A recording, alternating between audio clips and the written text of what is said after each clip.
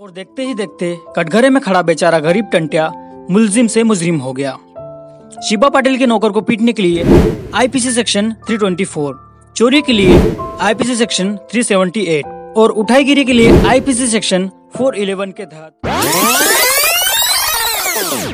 जय जोहार दोस्तों हमारी रोबिनहुड सीरीज़ के पहले एपिसोड में आपने देखा कि किस तरह साहूकारों की सूदखोरी ने टंटा भील के पुरखों की ज़मीन पर कब्जा किया। इसी सूदखोरी ने पहले टंटिया के दादा और फिर माता जीवनी व पिता भाव सिंह की जान ले ली। अगर आपने हमारा पहला एपिसोड नहीं देखा तो ऊपर आई बटन पर लिंक है, जाकर देख लीजिए। साल था अठारह सौ इकहत्तर और उनतीस साल के टंटा के साथ आगे क्या हुआ, चलिए जानते हैं।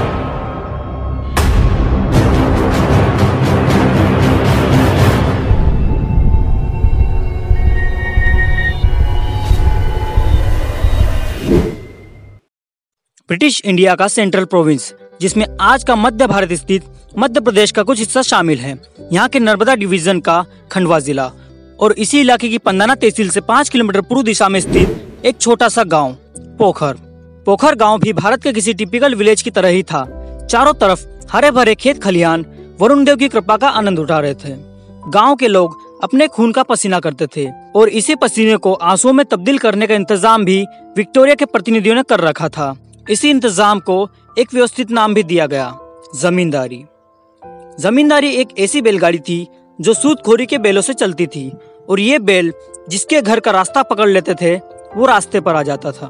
पोखर गाँव में भी अंग्रेज़ों ने यह इंतज़ाम कर रखा था। नाचीज का नाम था शिब्बा पाटिल। गाँव में साहब का बड़ा दबदबा था। पोखर के मालगुजार जो ठहरे। पाटिल साहब की हवेली के सामने से एक रास्ता गुजरता था, जो दक्षिण दिशा में बुरहानपुर और उत्तर में दोलहर फाटे से सीधा जिला खंडवा जाता था। अब आते हैं पोखर गाँव के सबसे महत्वपूर्ण स्थान पर, जो हमारी कहानी में सबसे ज़्यादा अहमियत रखता है। पोखर गाँव के उत्तर दिशा में आने पर एक विशाल का इमली का पेड़ था। भाव सिंह के बताए अनुसार टंटिया बरदा से 11 किलोमीटर का फासला पैदल चलकर पोखर पहुँचा। इतनी दूर चलकर वह थक चुका था तो उसी बड़े इमली के पेड़ की छाव में बैठ गया। पास से ही लोबान की खुशबू आ रही थी। टंटिया ने नज़र घुमाई और देखा कि कोई धार्मिक स्थल बना हुआ है। कच्ची मिट्टी की बनी दीवारें, उसके बीचों बीच एक समाधि स्थल जिस पर चादर चढ़ी थी। यही था पोखर गाँव का सबसे महत्वपूर्ण स्थान, बाबा सैयद इब्राहिम नौगजा पीर की दरगाह। नौगजा बाबा एक सूफी संत थे। बाबा की मजार की लंबाई नौ गज थी। इसीलिए उन्हें नौगजा पीर के नाम से भी जाना जाता था। इलाके में बाबा के चमत्कारों के कसीदे पढ़े जाते थे। क्या हिंदू, क्या मुसलमान, राजा हो या फकीर हर कोई बाबा के कदमों में सर झुकाता था। उस समय, जब भी किसी गरीब को कोई मुश्किल आती थी, बस दो ही रहनुमा याद आते थे। एक तो पोखर की मजार में लेटे नौगजा बाबा और दूसरे, सतपुड़ा की वादियों में नागलवाड़ी शिकरदाम पर बैठे भीलट बाबा। हिंदू हो या मुसलमान, इस बात पर सभी एक मत थे कि इनके दरबार से आज तक तो कोई भी खालियात नहीं लौटा। नौगजा बाबा के सामने नतमस्तक होकर टंटिया ने शीश झुकाया और भाव सिंह के बताए अनुसार चल दिया अपनी ज़मीन लेने शिब्बा पाटिल की हवेली पर। हवेली के मेन एंट्रेंस के अंदर प्रवेश करते ही एक आदमी ने उससे टोका। ए, किधर जाता है? अरे मुंशी, आने दो से पीछे से आवाज़ आती है। ऊँची कदकाठी और बड़ी बड़ी घुमावदार मूछे वाले आदमी ने टंटिया को अपनी ओर इशारे से बुलाया। हाँ भाई, कौन है तू? और क्या काम है? शिबा पाटिल ने टंटिया से पूछा। टंटिया ने अपना परिचय दिया। अच्छा तो तू भाव सिंह का बेटा है। बड़ा दुख हुआ तेरे बाप की मौत की खबर सुनकर। पाटिल चिकनी चुपड़ी बातें करने लगा और सीधे साधे टंटिया को काम पर रख लिया। थोड़े दिन खेतों में काम करने के बाद एक दिन टंटिया पाटिल के पास पहुँचा और अपने पुरखों की ज़मीन वापस देने की बात कही। शिब्बा पाटिल के मन में खोट था, इसलिए वह नाजायज कहानियाँ बनाने लगा और बोला, देख टंटिया, बात तो तू ठीक कह रहा है, ज़मीन तेरे बाप की ही है, लेकिन तेरे दादा ने जो कर्ज लिया था उसका एक पैसा भी नहीं लौटाया। ऐसा कैसे चलेगा? मैं दूँगा वो कर्जा, टंटिया बोला। हाँ भाई, तू ही दे देना। पाटिल ने हँसते हुए बात को टाल दिया। पोखर गाँव में टंटिया, नौगजा बाबा की मजार के पास ही रहता था। जब भी वो उदास होता, बाबा की मजार पर जाकर बैठ जाता। एक यही जगह थी जहाँ उसे सुकून मिलता था। क्या हो टंटिया भीकी भाभी ने आज खाना नहीं खिलाया क्या? जो आज यहाँ उदास बैठा है। पीछे से आवाज़ आती है। अरे आओ नहाल। बड़े दिनों बाद दिखे। धंधा पानी कैसा चल रहा है? टंटिया ने अपने दोस्त नहाल से पूछा। दोनों में देर तक बातें हुई। नहाल ने ज़मीन वाला मामला गौर से सुना और यह मामला पास की अदालत में ले जाने की सलाह दी। अगले ही दिन टंटिया और नाहल खंडवा पहुँचे। नाहल थोड़ा पढ़ा लिखा था। टंटिया ने खंडवा में शिबा पाटिल के खिलाफ एक सिविल मामला दर्ज कराया, लेकिन इसका नतीजा कुछ नहीं निकला। पाटिल मालदार था और पुलिस भी उसकी ही सुनती थी। फर्जी दस्तावेजों के आधार पर कोर्ट ने ज़मीन पाटिल की बताकर टंट्या को उल्टे पाँव वापस लौटा दिया। खंडवा से पोखर और पोखर से खंडवा। तारीख पे तारीख और अंत में कोर्ट का ये फैसला। हताश होकर गरीब टंट्या ने अपने दोस्त नहाल की तरफ़ देखा। नौगजा बाबा की मजार पर बैठे दोनों अपनी बेबसी देख रहे थे। बाबा के सामने खड़ा होकर टंट्या कहने लगा, लोग कहते हैं कि तेरे दर से आज तक तो कोई खाली नहीं गया। फिर मेरे साथ ये अन्याय क्यों? मैं तो ईमानदार हूँ ना। भीखी पूछेगी तो क्या जवाब दूँगा उसे? सोचा था खूब सारी मेहनत करूँगा और पाटिल का कर्जा उसके मुँह पे मार दूँगा। हमारे दादी की ज़मीन हमारी होगी। पर नहीं, पाटिल के पास तो बहुत पैसा है। तू क्या गरीब की ज़मीन हथिया लेगा? टंट्या की लड़खड़ाती ज़ुबान नोगजा बाबा से नाराज़गी जताकर शिकायत करने लगी। एक तो भाव सिंह की मौत का गम अभी भूला नहीं था और रही सही कसर पाटिल ने पूरी कर दी। भोला वाला टंट्या हर किसी पर जल्दी ही विश्वास कर लेता था। इसी कारण उसे दुख झेलना पड़ा। रात भर इसी बारे में सोच सोच कर ढंग से सो भी नहीं पाया था। आज तक टंटिया ने अपना हक पाने के लिए साम और दाम प्रयोग में लिया था, लेकिन काम नहीं बना। अब बारी थी दंड की। टंटिया सीधे अपने खेत पर गया, जिस पर शिब्बा पाटिल ने कब्जा कर रखा था।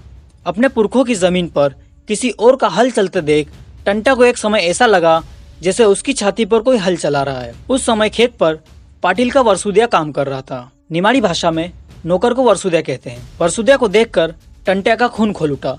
उसने आव देखा न ताव और लाठी से दनादन दो तीन धर दी और नौकर अपनी जान बचाकर भाग गया। सीधा पाटिल की हवेली पर जाकर एक की दो चुगली लगा दी। टंट्या पहले ही पाटिल की आँखों में खटकता था और अब तो उसे बहाना भी मिल गया।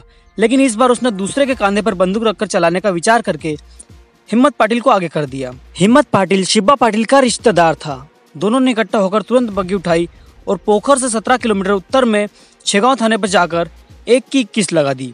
हिम्मत पाटिल ने एफआईआर दर्ज कराई और पुलिस पहली बार टंटिया को ढूंढती हुई पोखर पहुँची। पुलिस वालों ने छेगांव थाने में उसे कैद किया। अगले दिन निमाड़ के असिस्टेंट कमिश्नर के सामने मुकदमा शुरू हुआ। हिम्मत पाटिल वर्सेस टंटिया भाव सिसाटे, प्रिवी काउंसिल अठारह सौ इकहत्तर, प्लेंटिफ हिम्मत पाटिल, डिफेंडेंट टंटिया भाव सिसाटे। शिब्बा पाटिल ने अपने रिश्तेदार हिम्मत पाटिल के साथ मिलकर भोले भाले टंटिया पर चोरी और उठाईगिरी के झूठे इल्ज़ाम लगाए। इन इल्जामों को और ठोस रूप देने के लिए झूठे गवाह भी पैदा किए गए। कटघरे में खड़ा बेचारा गरीब टंटिया देख रहा था कि एक आदमी कितना गिर सकता है। कोर्ट की कार्रवाई आगे बढ़ती गई और देखते ही देखते कटघरे में खड़ा टंटिया मुलजिम से मुजरिम हो गया। ज़ाहिर सी बात थी, अपराध सिद्ध हो गया। जज साहब ने अपनी कलम उठाई और शुरू हो गए हर हिंदी मूवी की वही घिसी पिटी लाइन लेके। तमाम सबूतों और गवाहों को मद्देनजर रखते हुए ये अदालत इस नतीजे पर पहुँची है कि फलाना ढुमकाना वगैरह वगैरह। और देखते ही देखते कटघरे में खड़ा बेचारा गरीब टंटिया मुलजिम से मुजरिम हो गया। शिबा पाटिल के नौकर को पीटने के लिए आईपीसी सेक्शन 324, चोरी के लिए आईपीसी सेक्शन 378 और उठाईगिरी के लिए आईपीसी सेक्शन 411 टंटिया को दो साल की रिगोरस इम्प्रिजमेंट यानी दो साल की सश्रम कारावास की सजा मुकर्र हुई। सजा होते ही टंटिया को पुलिस ने खंडवा सेंट्रल जेल में डाल दिया। इधर बाहर नहाल को कुछ समझ नहीं आ रहा था। उसने एक अर्जी बनवाई और खंडवा सेशन कोर्ट में पहुँच गया। नौगजा बाबा की मेहर हुई और सेशन जज ने निचली अदालत का फैसला रद्द कर दिया और टंटिया को बाइज्जत बरी कर दिया। टंटिया को आज़ाद देखकर पाटिल की छाती पर सांप लौटने लगे। एक बार फिर उसने अपना जाल बिछाया। पुलिस वालों को रिश्वत दी और एक और एफआईआर टंटिया के खिलाफ लिखवा दी। हमारा भारत उस समय गुलामी की जंजीरों में जकड़ा था। गाँव के जमींदार साहब की तरफदारी करते थे। बदले में लॉर्ड साहब भी साहूकारों का समर्थन करते थे। गरीब दोनों पार्टों के बीच में पड़े गेहूँ की तरह दोनों तरफ़ से पीसते थे।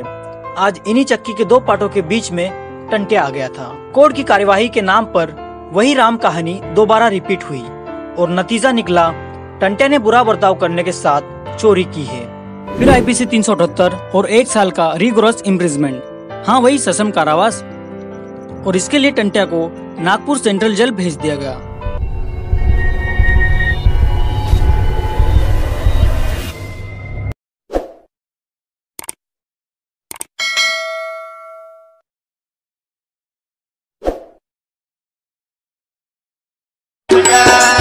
अंग्रेज़ सेना चमका अंग्रेज़ सेना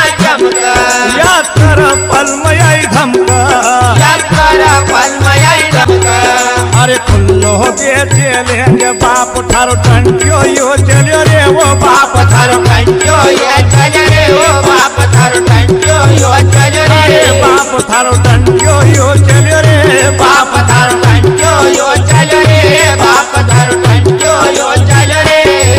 और भील समाज को बेटो देश पर